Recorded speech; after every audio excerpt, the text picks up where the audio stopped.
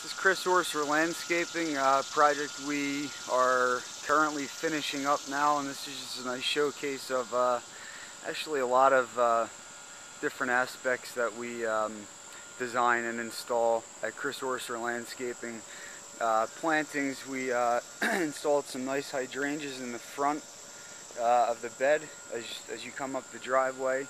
Incorporated some some nice boulders here just as accents and to give it uh, just more of a natural look and uh, some more aesthetic interest.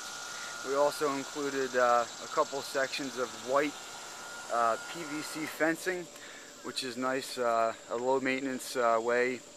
Um, you don't have to come out here and stain it or power wash it. it's real durable and um, long lasting so it's white white uh, vinyl fencing that we installed here. We also installed four 6x6 uh, posts, which are actually going to create a pergola on top with some wisteria growing over top of it. Um, we also installed coming off of the driveway uh, in the center of the pergola uh, EP Henry uh, pavers. This is Dakota blend. So as you're coming off the driveway, looking at the hydrangeas on either side, you have the, the white fence as a kind of a backdrop. In back of the fence, we have some arborvitaes which provide the pool, which even at installation, you barely can see, so that provides the client with uh, just a lot of privacy when they're out when they're out back using their, their pool area. So again, coming up the driveway into the walkway, uh, we have another section of fence in the back that just adds a little bit of depth to the whole project.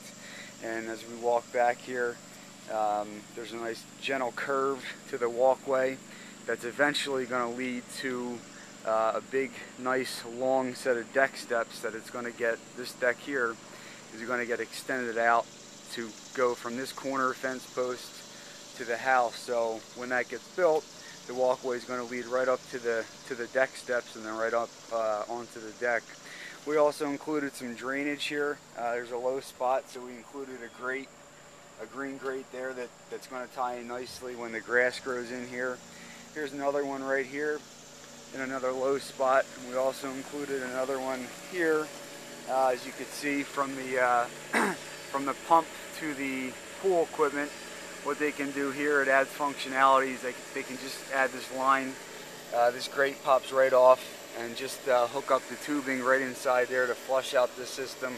And all these grates are connected up to one line which leads underneath the deck out into the other side of the property um, and into the street and into the, uh, the sewer system.